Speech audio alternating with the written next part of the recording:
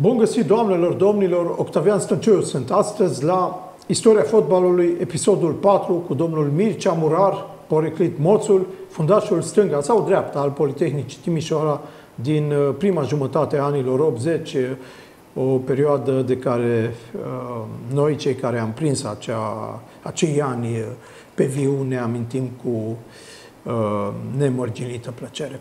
Domnule Murar, rămăsesem la finalul sezonului 82-83, când Poli retrogradează după ce joacă totuși o finală de Cupa României. Poli devenise o expertă în finale de cupă, așadar după ce a câștigat din 58, uh, trec mai mulți ani și joacă finala în 74, joacă în 80 și o câștigă, joacă în 81, pierde cu Craiova 0 la 6 și joacă din nou în 83, din nou contra Marii, Craiova Maxima, uh, pierde 1 la 2. Uh, spuneați dumneavoastră la finalul episodului trecut că ar fi trebuit să jucăm în Cupa Cupelor, însă de fapt situația a stat altfel. Uh, Craiova în acel an, sezon 82-83, nu a cucerit eventul, a cucerit titlul Dinamo. Craiova cucerește Cupa României, ar fi trebuit să meargă ea în Cupa Cupelor, iar locurile 2 și, nu 2, că 2 a fost Craiova, locurile 3 și 4 din campionat, sportul studențesc pe 3, pe 4, nu mai știu cine a fost, ar fi trebuit să meargă în Cupa UEFA. Uh, din cauza că Federația Română de Fotbal a programat finala Cupei României după 30 iunie, termenul pe care UEFA îl, îl stabilise ca toate țările să anunțe participantele lor în cupele europene pentru sezonul următor, 83-84, uh, România a motivat că n-a avut timp uh, din cauza naționale implicat în preliminariile europenelor, Uh, atunci nu era ca acum uh, naționalele să joace în aceeași fereastră, să zic, uh, nu, atunci te înțelegeai federațiile, când se joacă meciuri din preliminari, nu era ca acum un calendar uniform pe plan european.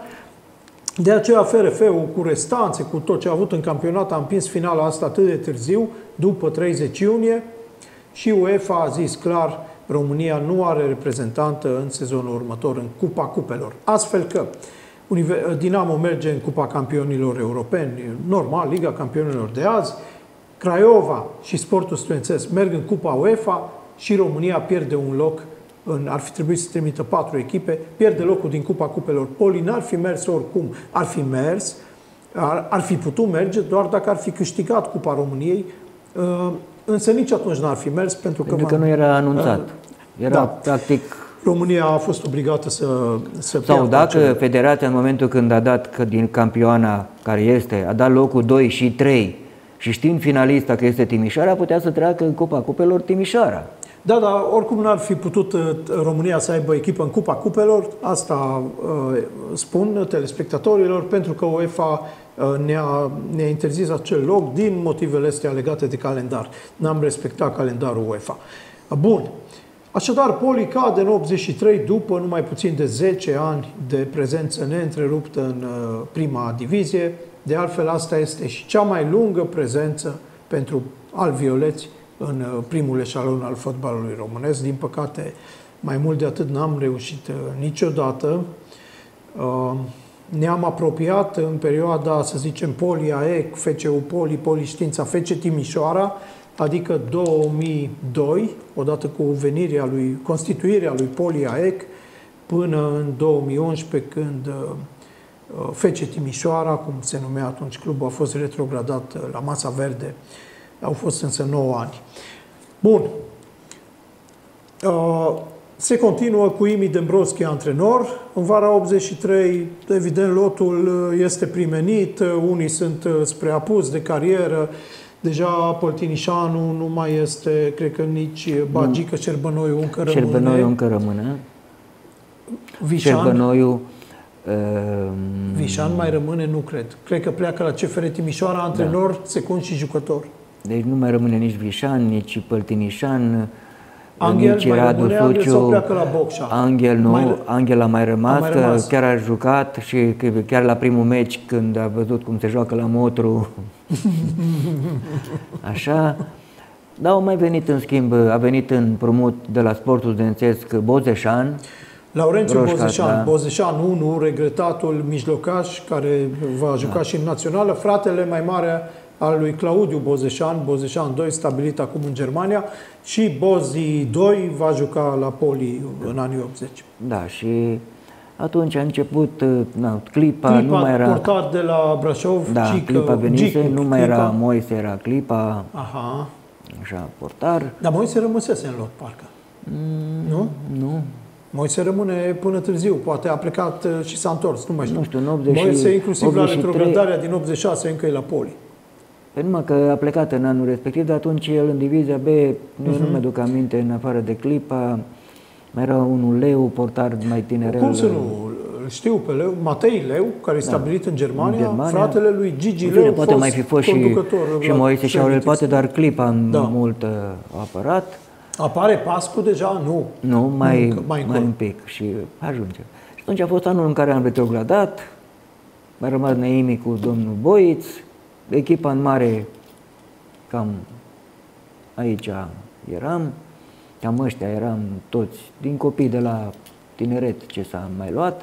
Am mai venit pe parcursul anului Mircea Bolba, De la satul mare. Da. Un vârf de atac care fusese cu așa numiții canguri, Da. adică Naționala A. de Tineret Under 20 la Mondialul a rezervat acestei categorii în 81, 81. Când România obține bronzul, iar o mică Cu Gabor de Gabor la a fost Porvino, balonul de aur. balonul de aur, eh, trofeu câștigat eh, sau distinție câștigată cu 2 ani înainte la ediția De precedentă Maradona. de însuși Diego Maradona.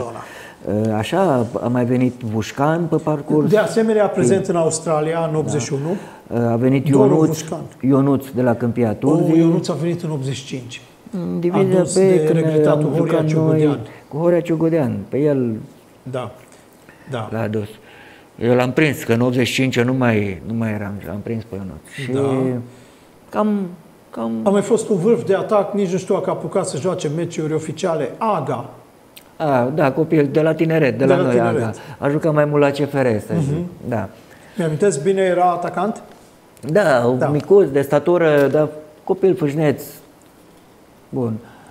Venise, na, tot așa pe parcursul anului, parcă atunci pe Schneider, care, Bocănici. da, ce a fost și cam ăștia au fost anul cu care am pornit în, am într-un turneu, că după ce am retrogradat, imediat după ce În am luat Spania, bătaia, iar. am plecat în, din nou în Spania, unde am jucat și la Granada, am jucat și la, Vala, la Granada, care acum e în divizia cu mâini, am jucat la Valladolid,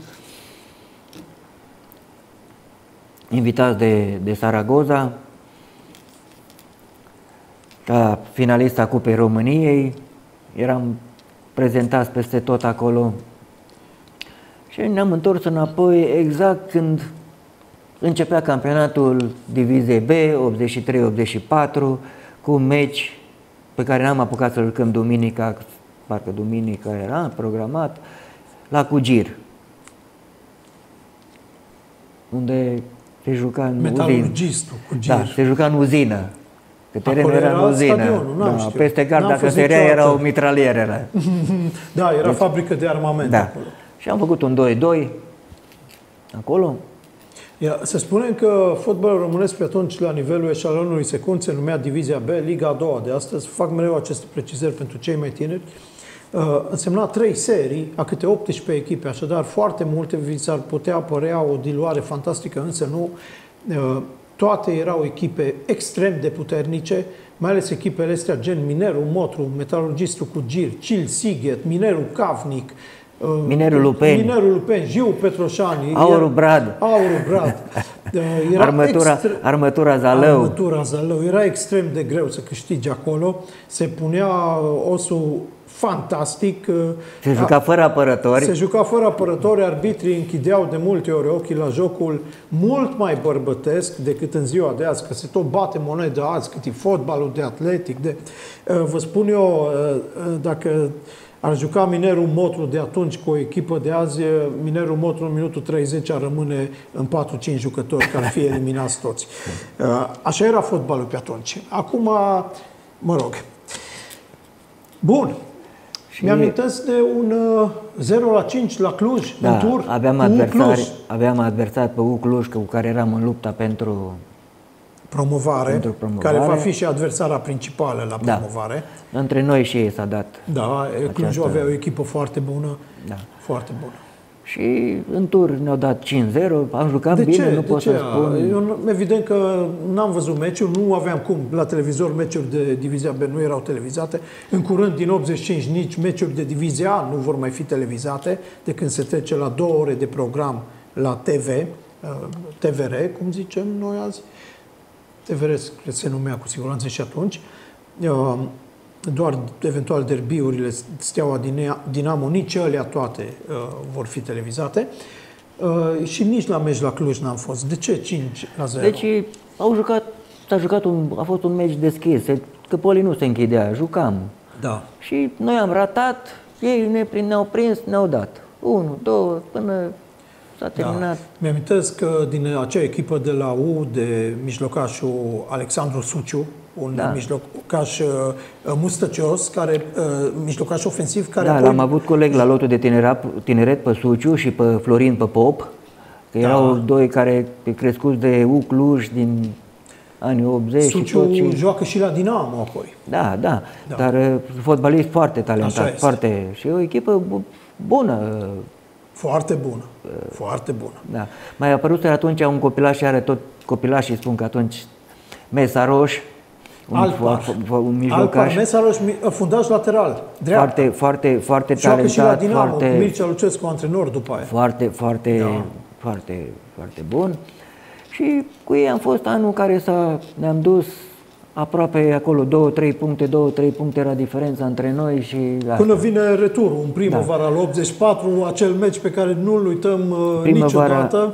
84, primăvara lui 84, când am prins și că s-a rupt cealaltă poartă, care se rupsese în 80, Cu armătura Atletico Zalău. Mineiro. Deci ac- acolo cu Atletico Mineiro, aici cu armătura Zalău. Deci tot cu Atletico da, și cu armătura. parcă 5-0, nu mai știu scorul. Uh, 3 sau 4-0 am bătut, era Lăzăreanu în 5-0 a poartă. fost cu Cil Sighet. În Îi, primul bătu, îi bătus, îi- Lăzăreanu, Policlit Avea- Kojak, Da. portarul cu Bască, fost că la U Cluj, marea la majoritate FC care plecau Bihor, de la Cluj mergeau la, la Zalău. la Zalău. la Zalău. Și până a venit meciul cu din 20 mai, din 84 20 mai, că m-am uitat bine să Mhm. așa cu Cluj, 50.000 de oameni pe stadion, Da. Sunt uh, poze cu spectatorii de la acel meci.